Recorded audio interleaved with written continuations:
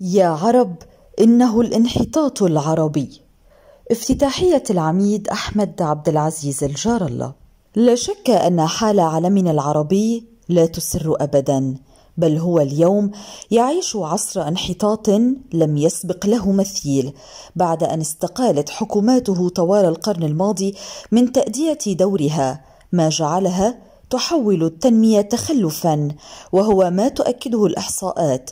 فقد بلغت نسبة الأمية العام الماضي 21% وهناك حاجة إلى توفير 60 مليون فرصة عمل خلال العام المقبل وارتفعت معدلات الفقر إلى 23% ليس هذا فقط.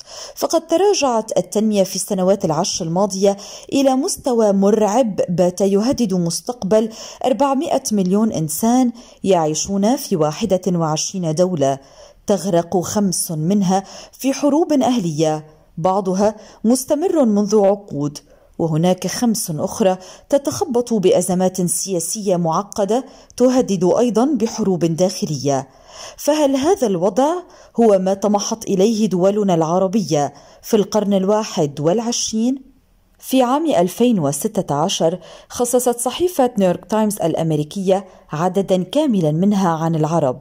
رصد فيه الكتاب ما ترتب عن الغزو الأمريكي للعراق. من خسائر في الأرواح والأموال بعنوان الكارثة التي حلت بالعرب منذ عام 2003 لم تكن المقالات مجرد تحليل إنشائي إنما إحصاءات وأرقام وشواهد على ما تسبب به ذاك الغزو.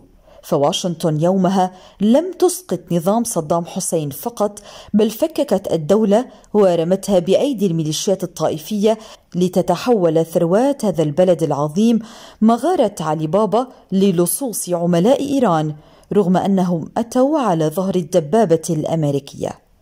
خسر العالم العربي منذ ذلك الحين إلى اليوم ما يزيد عن تريليوني دولار أمريكي. وسقط في العراق وحده نحو 1.5 مليون قتيل إضافة إلى مئات آلاف القتلى في سوريا وليبيا واليمن.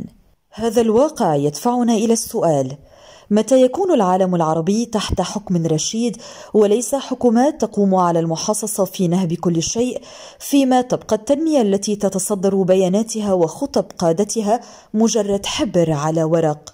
الشعوب في العراق ولبنان واليمن والجزائر والسودان وتونس تنتفض على أنظمتها التي عجزت عن تأمين أبسط مقومات العيش الكريم لمواطنيها ولتغطية فشلها ردت ذلك إلى مؤامرة أمريكية إسرائيلية. فهل إسرائيل أو الولايات المتحدة هي من تقاتل في العراق وسوريا؟ وهل هي من دفعت لبنان إلى الإفلاس بعدما نهب حكامه نحو 100 مليار دولار أو جعلت الفقر يعم الجزائر التي تعم على محيط من النفط؟ أو هي من مزقت ليبيا بحرب أهلية؟ حتى لو فعلت واشنطن وتل أبيب ذلك أليس في تلك الدول حكماء يدركون ما يرسم لهم؟ أم هم كنعاج ينساقون خلف كل جرس يقرع؟ أليست هناك نخب تتنبه إلى الخطرين الإيراني والتركي اللذين يدخلان مثل الفيروس إلى جسد بلادها وبدلا من مقاومته تصبح ناشرة له؟ ليست المؤامرة التي مزقت العرب والمسلمين. إنما الفساد والسعي إلى تغييب الشعوب وعدم منحها حقوقها بالحياة الحرة لا سيما في دول اعتبرت على مر السنين رائدة نهضوية في العالمين العربي والإسلامي. ولكن للأسف اتضح في نهاية المطاف أنها محكومة من لصوص وفاسدين يتنعمون بخيراتها ويتركون شعوبهم يتضورون جوعا. ورغم كل تلك المآسي نرى اليوم من لا يزال يهتف للزعيم الفلاني بل يموت دفاعا عنه ويصدق أكذوبة أن ما يجري في وطنه مؤامرة من الخارج.